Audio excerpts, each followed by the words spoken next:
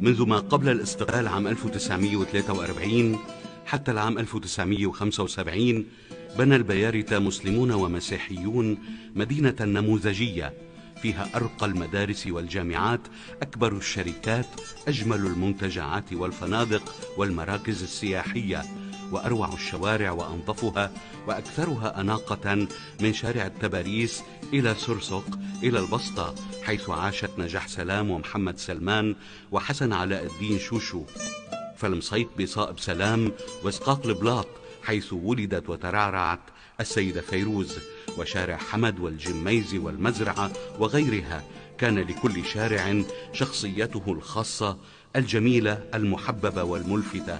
وفيها تعايش أتباع كل الديانات والمذاهب والثقافات والحضارات وتعاظمت السياحة وغالبا لم يبقى سائح عربي أو أجنبي إلا وزارها مندهشا غير مصدق مما يراه.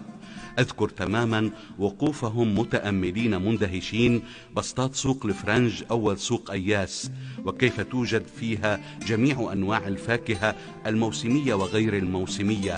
وعند بركة العنتبلي لما تحويه من أطايب ملونة بجميع الألوان.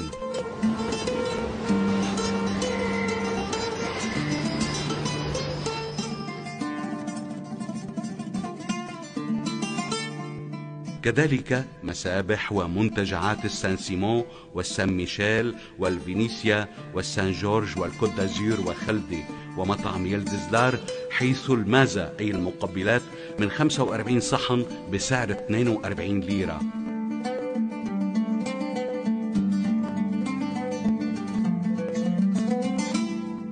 كان النسوة يخرجن قبل الغروب لغسل رصيف المنزل وتعبق الشوارع برائحة الياسمين والفل المنبعثة من حدائق المنازل.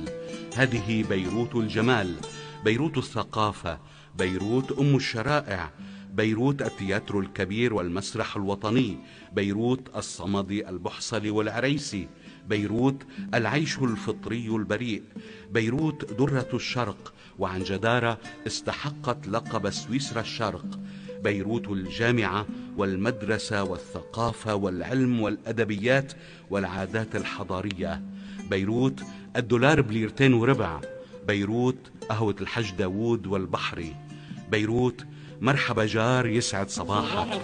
بيروت يا فتاح يا عليم يا رزاق يا كريم. بيروت الله يرزقك خيي بحسنة ولادك. بيروت كيفك حبيبي؟ سلم على البابا يا عمو. بيروت خلي عنك يا عم أنا بحمل الأكياس عنك وبساعدك. بيروت غض البصر. بيروت إفساح الطريق أمام المارة. بيروت أنا استفتحت يرضى عليك روح اشتري من عند جاري بعد ما استفتح.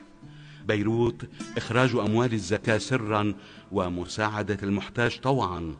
بيروت الزيارات وصلة الرحم والاحتفال بالأعياد العيدية وزيارة الكبير والقريب العم والخال والعم والخالي.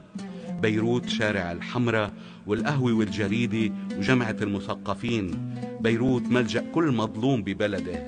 بيروت الحرية المسؤولة والصحافة الرصينة. بيروت نزار قباني. ويا ست الدنيا يا بيروت يا ست الدنيا يا بيروت, يا بيروت